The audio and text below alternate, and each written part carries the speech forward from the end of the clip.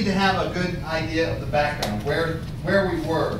So in terms of mathematics, um, he, Rene Descartes was there first, and this is the guy that did Cartesian coordinates, if you've heard of Cartesian coordinates. Basically, uh, allowed geometry to become a serious science that people could work with, okay? Um, he did a lot in terms of uh, making algebra and geometry work.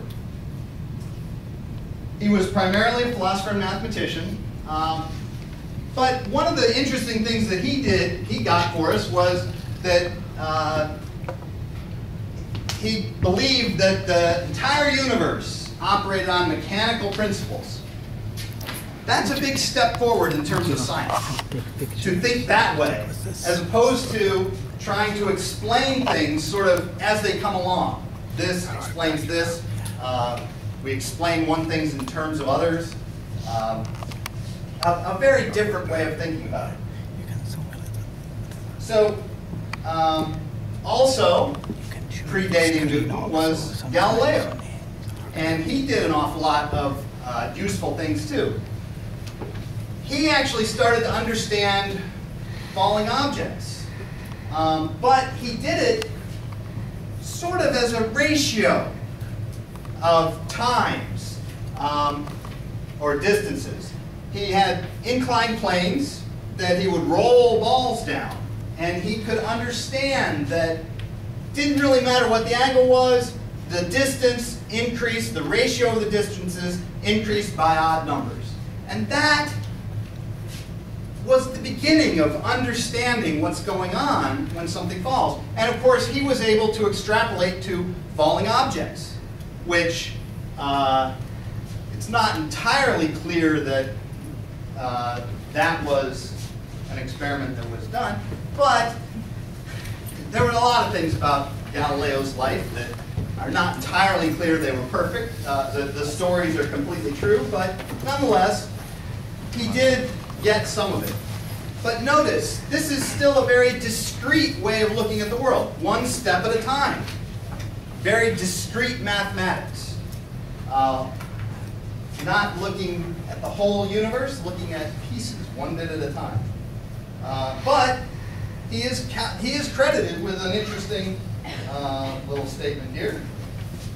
You do this. Oh, sound is going to work.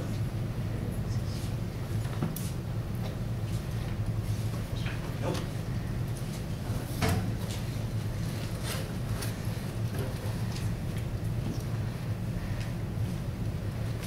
Well,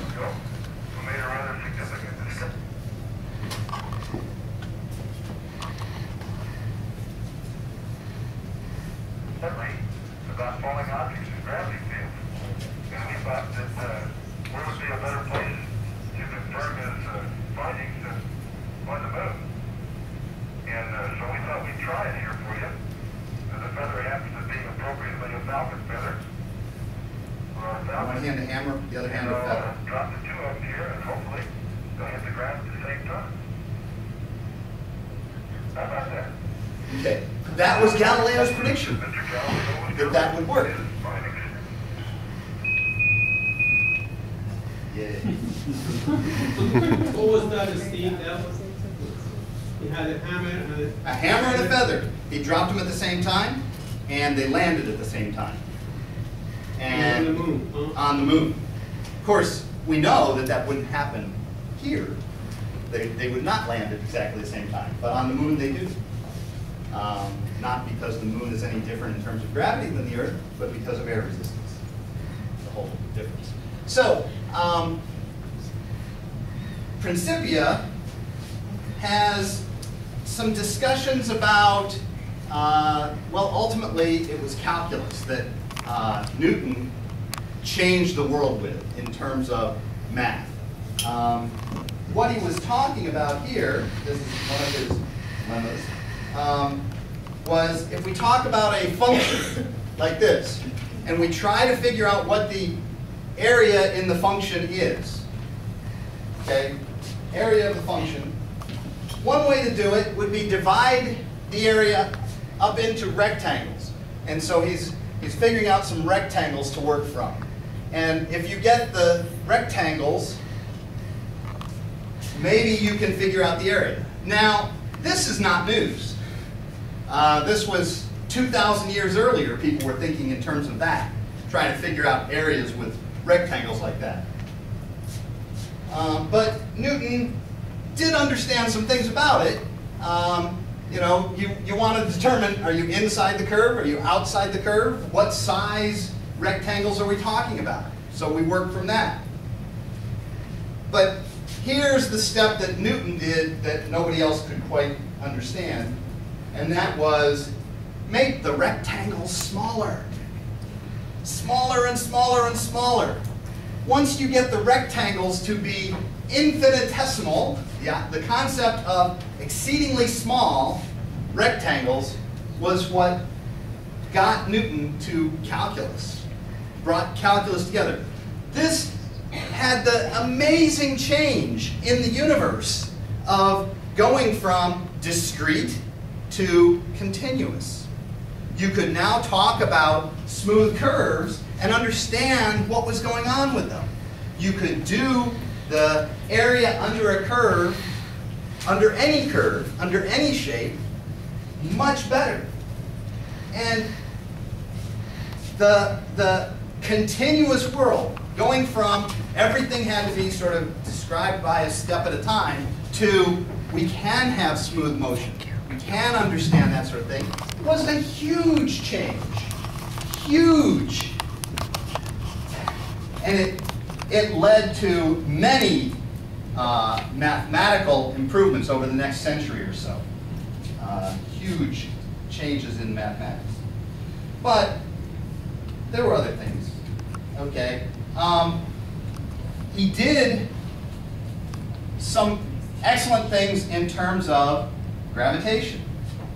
Well, gravitation is an understanding of a little bit useful, and very useful, in astronomy, trying to understand what's going on in the cosmos. That's where you really see gravitation come, come out. Um, but to set the stage, the Copernican revolution had already determined that the universe was reasonably heliocentric. Uh, Galileo had bought into that worked from there. Um, and Johannes Kepler, again, just before Newton, had taken some precise astronomical data and shown that Mars is actually orbiting in an ellipse. And that allowed Kepler to write Kepler's laws, which state, among other things, that in equal times, uh, orbits will sweep out equal areas. And it doesn't matter whether it's circular or elliptical, but the area will, be, will stay the same as it goes per, per, per unit of time. Okay, so at that point, he's starting, Kepler's starting to get some of how can we describe the universe?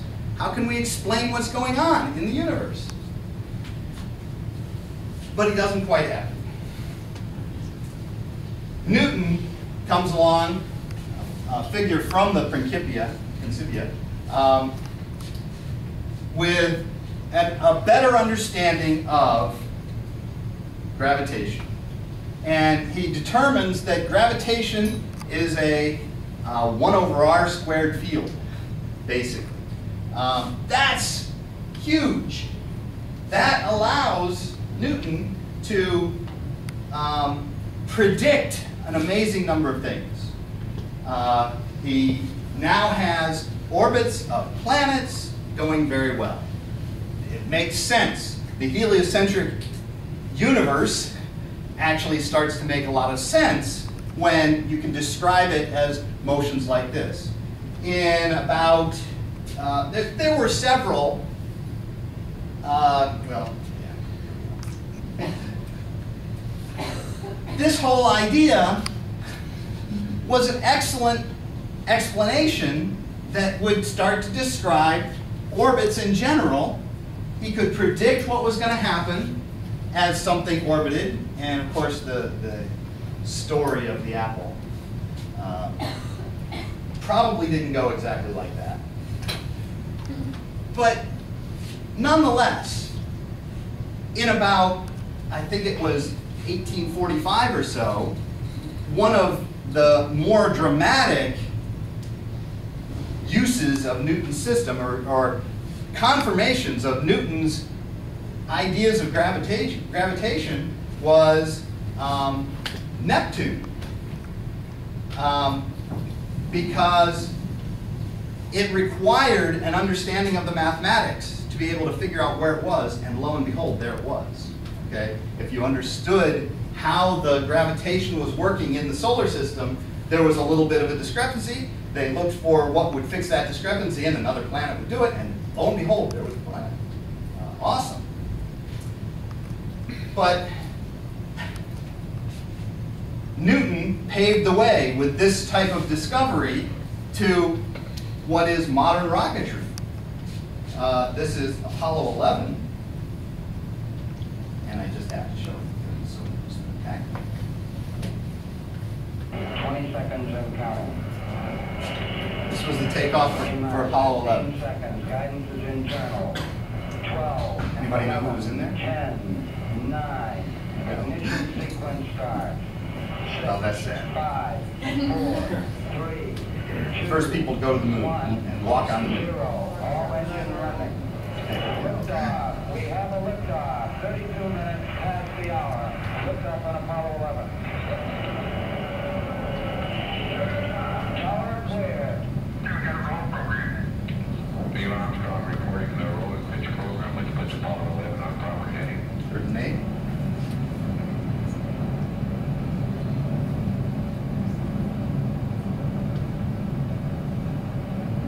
Plus 30 seconds. But basically, Newton's laws, F equals ma, and gravitation are exquisitely shown in this very activity of humankind. The action that it took to get to the moon. Control mode.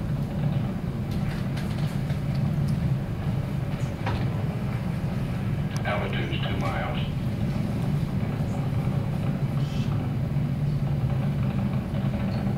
All the engineers good at what time? Downrange one mile, altitude three, four miles now. Velocity two thousand one hundred ninety-five feet per second. 2,195 feet per second. That's almost half a mile a second. Hundreds of miles an hour in 90 seconds. Kind of an amazing uh, feat there.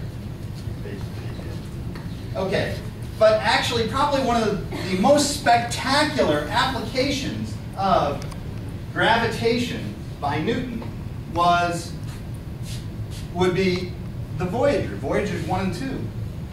It's amazing how little uh, thrust and uh, engine power that it took to get these two spacecraft past Pluto out of the solar system by just using Newton's laws of gravitation. Uh, there is a famous, maybe maybe not so famous. There's a quote from uh, the movie Apollo 13 that you might remember that uh, we have now put Sir Isaac Newton in the driver's seat. Uh, at some point in that movie, they say something to that effect. And the basic concept there is that if you understand the laws of physics, the laws of motion here, that once you have the rocket ship started, it will follow the trajectory that the gravitational objects in the path will, will give it. You don't need to do any more. And to a huge extent, that's what they did with Voyager 1 and Voyager 2.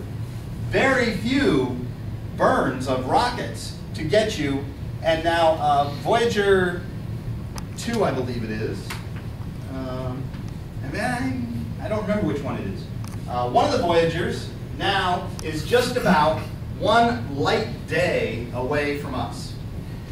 it has recently crossed what they call the heliopause, which is, it is now beyond the extent of our solar system. Our sun has no more impact on the space around it.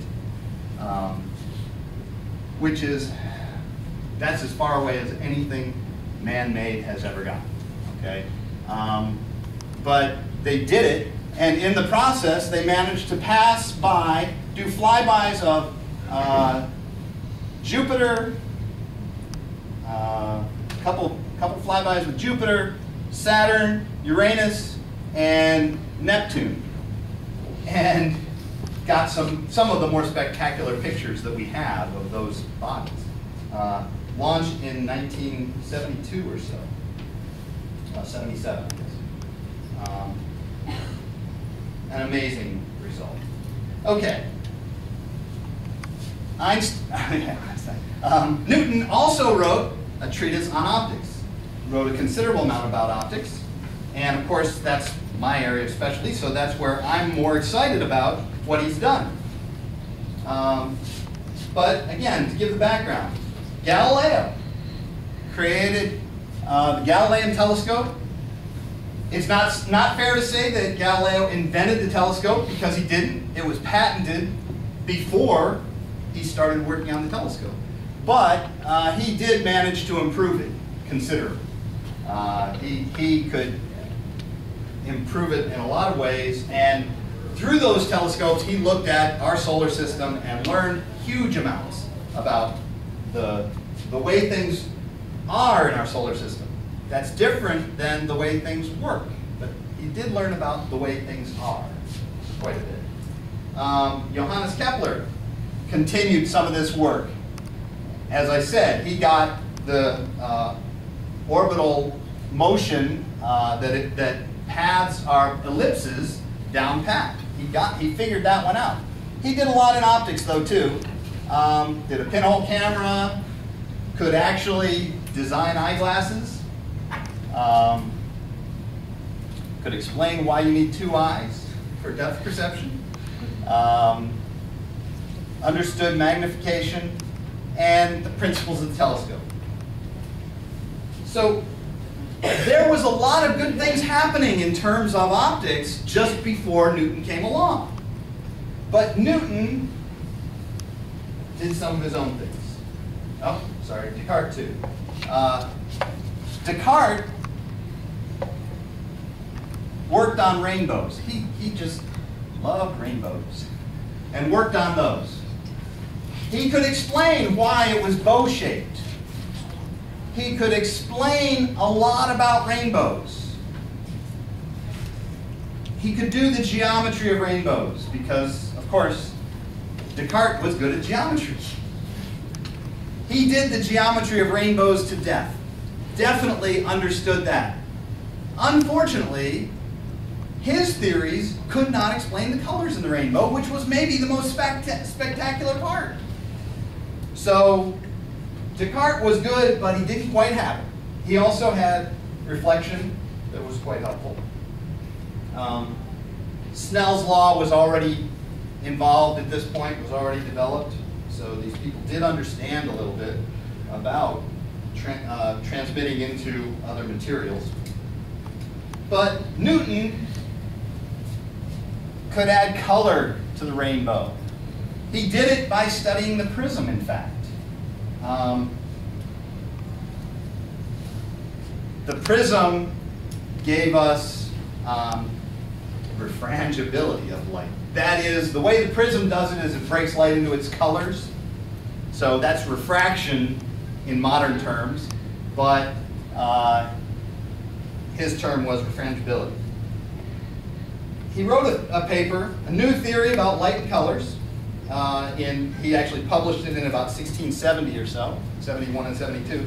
But um, I just think to get a sense of, of the way Newton would think about things, I need to read some of that paper. Um, so this was in beginning in the year 1666. And, and so he says, and in order thereto, having darkened my chamber, and made a small hole in the window uh, shuts, to let a convenient quantity of, of sunlight in, I placed my prism at his entrance that it might thereby refract, thereby refracted to the opposite wall. It was at first a very pleasing divertisement to view the vivid and intense colors produced thereby. Okay, this is a scientific paper. He's just kind of chatting with you, telling you how he's going to do the science. He made a, a hole in his wall and put a prism in front of it and saw the rainbow, and it was uh, a very pleasing divertisement. Uh, but he continued, and he did several experiments, many experiments. Uh, one of them was um, he basically took the prism and broke up the light into its colors, put it through more holes. So put the prism through another hole so that basically only one light color was coming through at a time. Then put another prism. Now what's that going to do? Well, I mean, this is this is not necessarily rocket science in terms of the ability to understand what you should do and what you should try, but it is really innovative for the time. And he was among the first to come up with this idea. Um,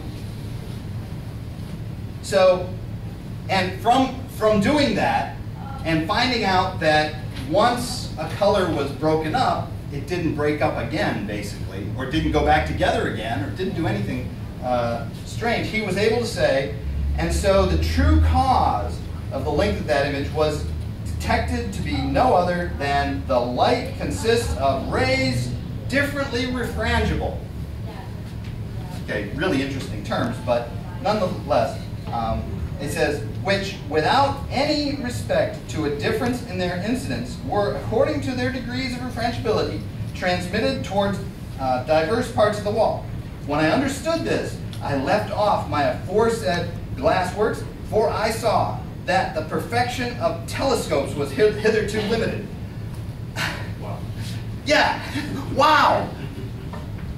He's doing this experiment in prisms, trying to figure out how it works, right? What the light is doing, and he discovers that different lights bend different, different colors of light bend differently through prisms. That's what he discovers, different refrangibility.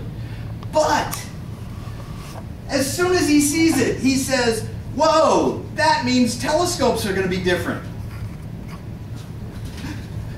How do you get to there from there? This is where the brilliance of Newton comes in. He saw that if glass is going to spread light out differently for different colors, then you are not going to make a, a telescope with glass that's going to work perfectly. Was his conclusion right there. You're done. You can't make a perfect glass lens telescope because of that. And he immediately started work on a telescope that no longer had glass in it. Well, I mean, not the same. He realized that if instead of using glass in that you know is going to do this refrangibility for him, if you use a mirror instead, you beat the system. Okay? And you don't have this problem of different colors going different directions. And that was critical. And of course, in the same paper, a little further down, he writes, Amidst these thoughts, I was forced from Cambridge by the intervening plague.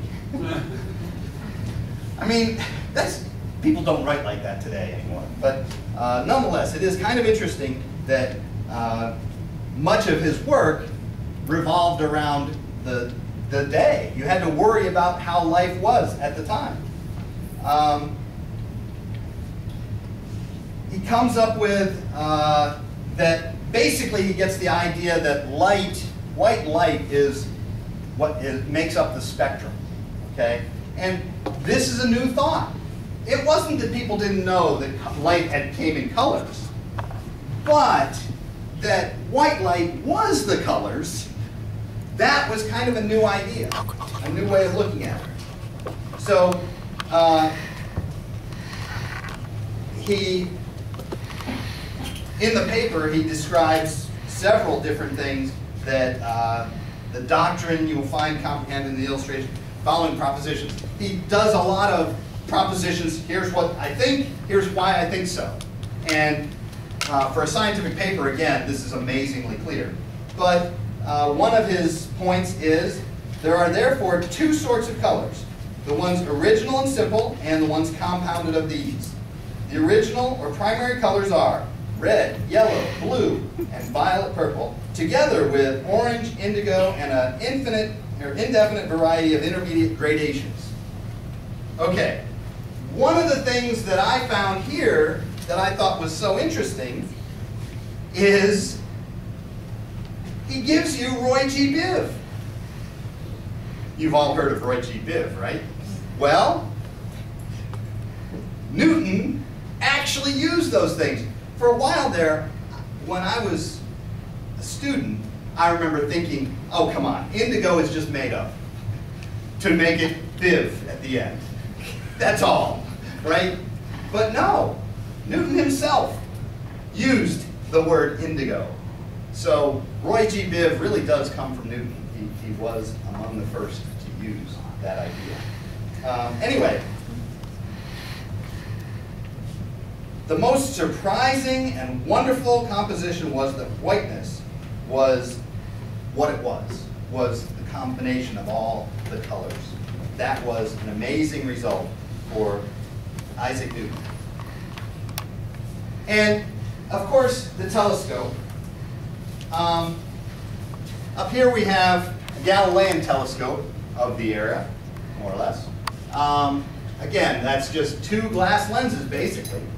Um, but Newton, this is a replica of the actual telescope he made, changed the game with designing a mirror for reflecting the light and enhancing the image rather than a lens. Changed the game. Uh, it was easy to make his larger too, for that matter. And in fact, it changed the game so much that that change continues to today. And now, if you want a good telescope, you make it a reflecting telescope. Now, there are slight uh, variations on it that are no longer exactly what Newton described, but nonetheless, um, these are in meters. Uh, pretty amazing. The, the Subaru up here is what I think I heard was the largest of the mirror telescopes, single mirror telescopes. Is that close to right? Yes, that's close to right. Okay. Thought- There's one bigger now? Don't think so. Could be older, but yeah, the Subaru telescope, which is on Maui? Uh, no, it's on Big Island. Big Island, okay, it's Hawaii. Mauna Kea. Mhm. Um, Is a huge telescope. This is the radius. This is the diameter, I believe, and the year made, right? Um, But his idea of using reflective telescopes is now what, what the state of the art in astronomy is. Okay. Um, well, we move on to his time at the Royal Mint. Uh, clearly, that was his job. So that was what people knew him for in the day. Okay? Um, but the man had moral character like crazy. Uh, in fact, in his lifetime, I think he was not terribly well liked because of it. But he had plenty of moral character. And uh, one of the things that that led to was that he vehemently prosecuted counterfeiting. In about 1690 or so, if you did a uh, survey, of the, he did a survey of coins that were in general public use, and he found that somewhere between 10 and 20 percent of all the coins in use at the time were counterfeit. So it was time to do something. Uh, he had to do something. And so one of the things he did was he basically recoined everything. He did one of the more massive recoinings ever done. Um, I think the deal was uh, somewhere in the three million pounds range of coins. That's that would be like uh, three hundred million dollars now of coins that he basically recalled and reissued. Okay, um, the number was the number that he did within one or two years was similar to the total number of coins that had been made in the previous 35 years. Okay, so he really ramped up everything. Did an amazing job. Uh, one of the things that that did, uh, one of the things that he did in this great recoinage was he changed the processes for uh, translating money from gold to silver, silver to gold. And it isn't clear whether this was inadvertent or not, but effectively he changed from a silver standard to a gold standard for coins. Okay? You might think, what's the big deal? Well, when he did that, when he made that happen, what he effectively did was he undervalued or he changed the value of silver in his system so that his country, the importers and exporters, would then pay for goods in silver because everybody else was still on the silver standard. But they would um, they would buy or they would sell their goods for gold because they were on a gold standard. That eventually led to a depletion of silver in the system. The, the English system lost a bunch of silver out of their system from that. It isn't clear whether that was his intent or not, but it certainly was the result, and it may or may not have been a good idea.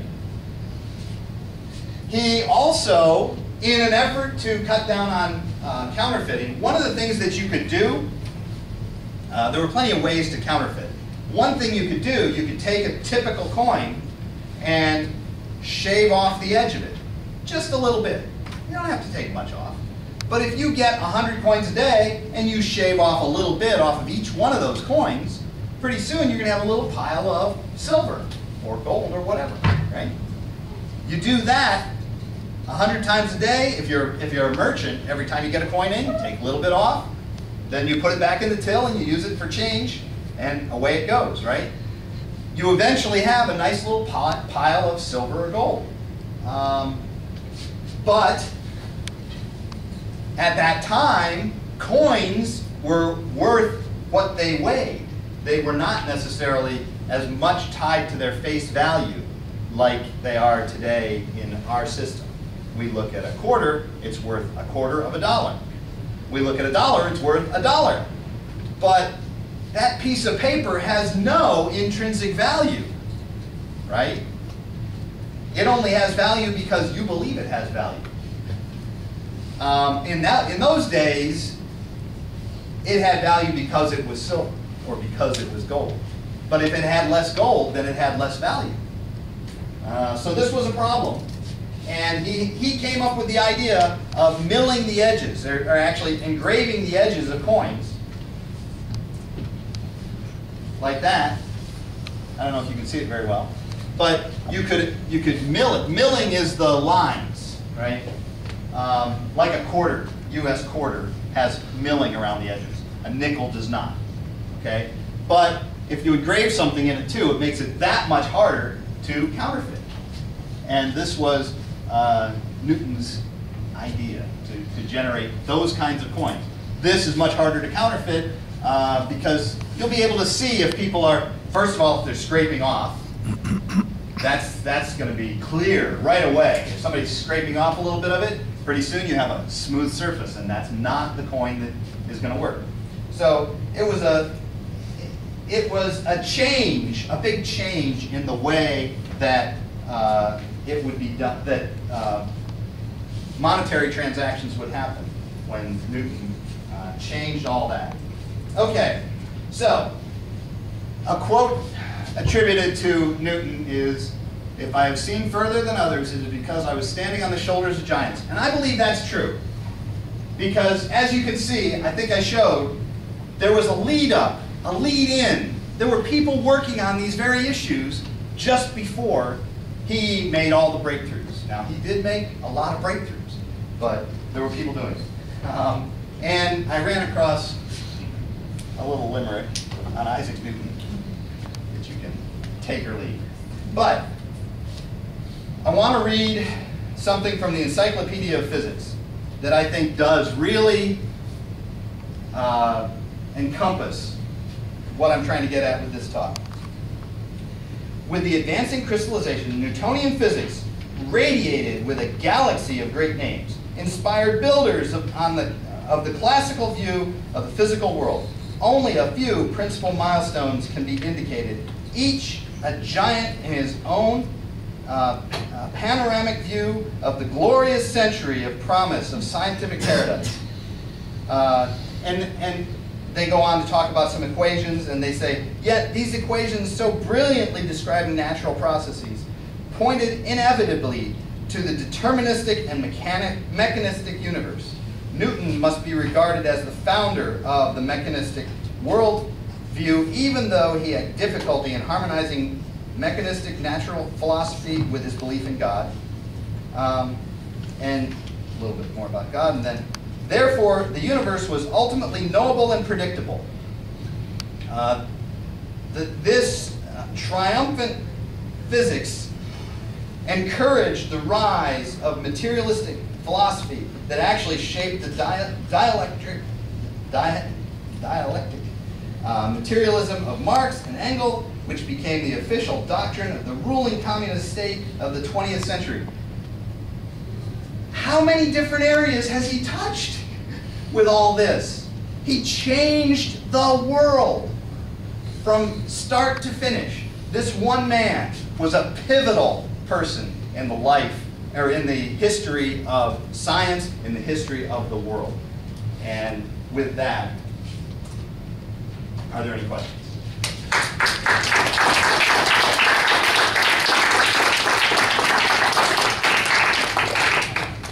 Yes. I've got a question.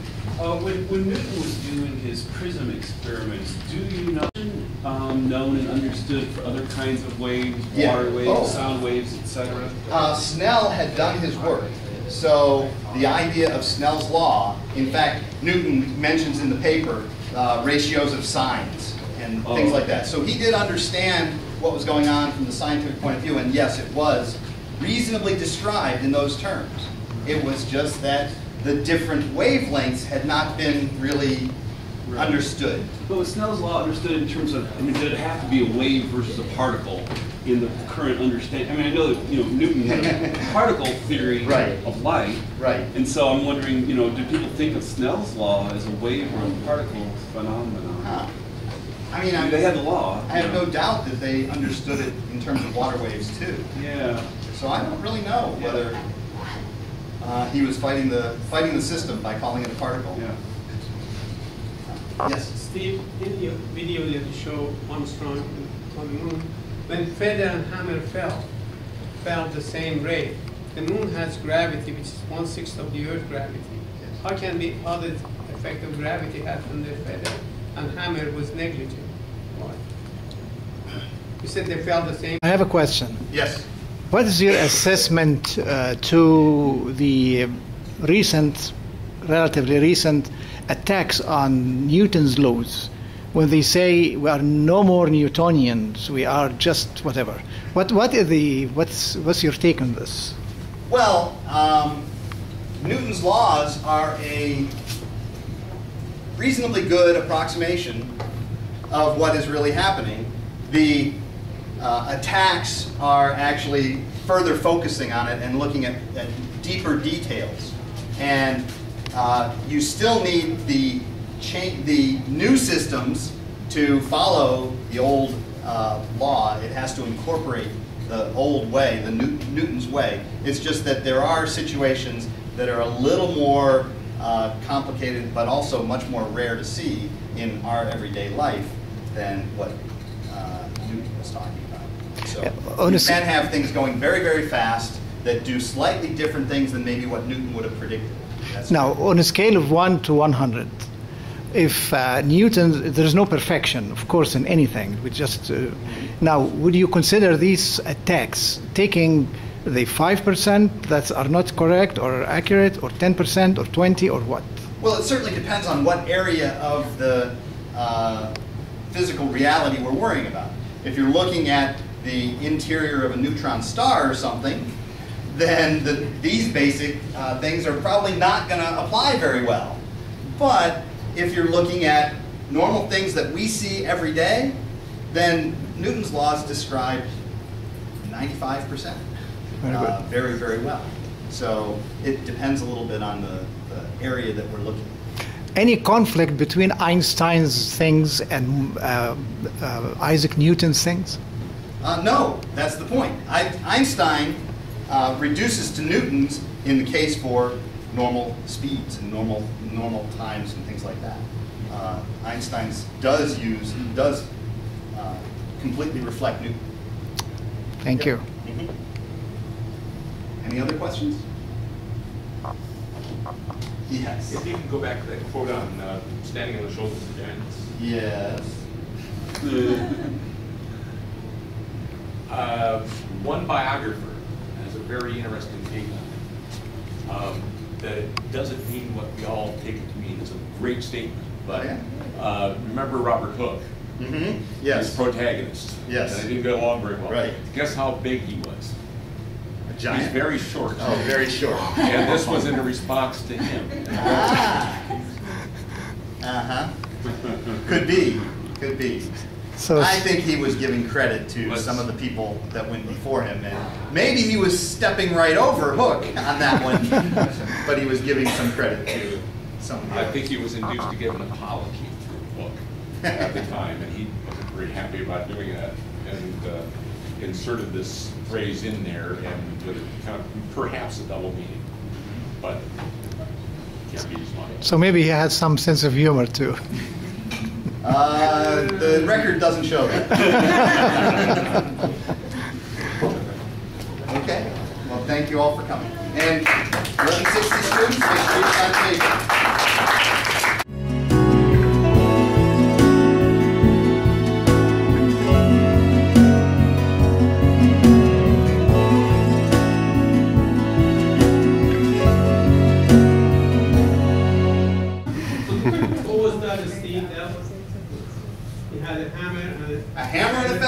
He dropped them at the same time, and they landed at the same time. And On the moon, huh? On the moon. Of course, we know that that wouldn't happen here. They, they would not land at exactly the same time, but on the moon they do. Um, not because the moon is any different in terms of gravity than the Earth, but because of air resistance. The whole difference. So, um, Principia has some discussions about, uh, well, ultimately it was calculus that uh, Newton changed the world with in terms of math. Um, what he was talking about here, this is one of his memos, um, was if we talk about a function like this, and we try to figure out what the area in the function is, okay, area of the function, one way to do it would be divide the area up into rectangles. And so he's, he's figuring out some rectangles to work from. And if you get the rectangles, maybe you can figure out the area. Now, this is not news.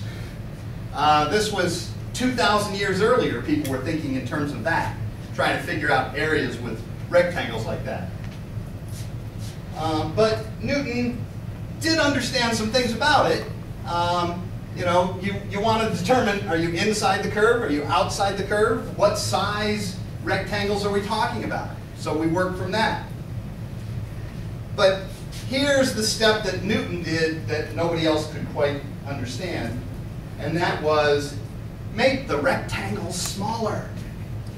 Smaller and smaller and smaller. once you get the rectangles to be infinitesimal, yeah, the concept of exceedingly small rectangles was what got Newton to calculus, brought calculus together. This had the amazing change in the universe of going from discrete to continuous. You could now talk about smooth curves and understand what was going on with them. You could do the area under a curve, under any curve, under any shape, much better. And the, the continuous world, going from everything had to be sort of described by a step at a time to we can have smooth motion, we can understand that sort of thing, was a huge change. Huge. As opposed to trying to explain things sort of as they come along. This explains this. Uh, we explain one things in terms of others. Um, a, a very different way of thinking about it. So, um, also predating Newton was Galileo. And he did an awful lot of uh, useful things too. He actually started to understand falling objects. Um, but he did it sort of as a ratio of times um, or distances. He had inclined planes that he would roll balls down. And he could understand that didn't really matter what the angle was, the distance increased, the ratio of the distances increased by odd numbers.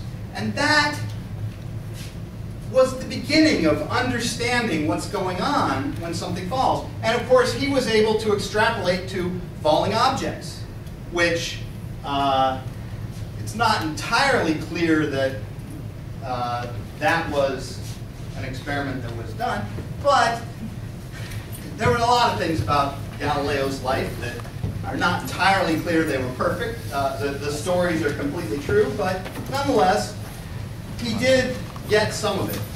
But notice, this is still a very discrete way of looking at the world, one step at a time. Very discrete mathematics. Uh, not looking at the whole universe, looking at pieces, one bit at a time. Uh, but he is, he is credited with an interesting uh, little statement here. You do this. Oh, sound is going to work.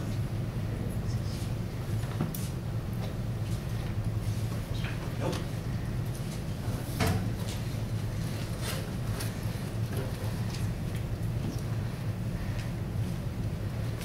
Well, we made a rather significant decision.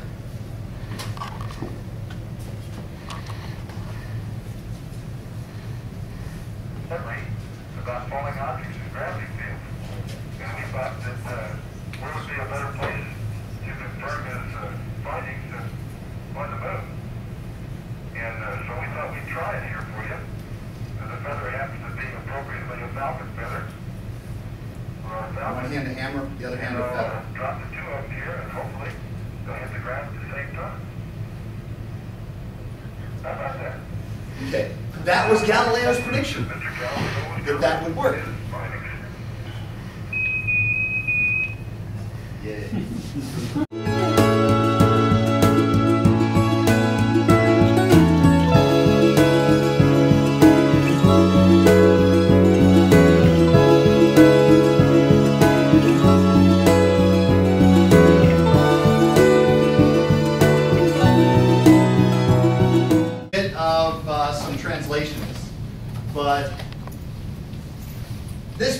big book that was changing things, this, this changed so many things, we still need to have a good idea of the background, where, where we were.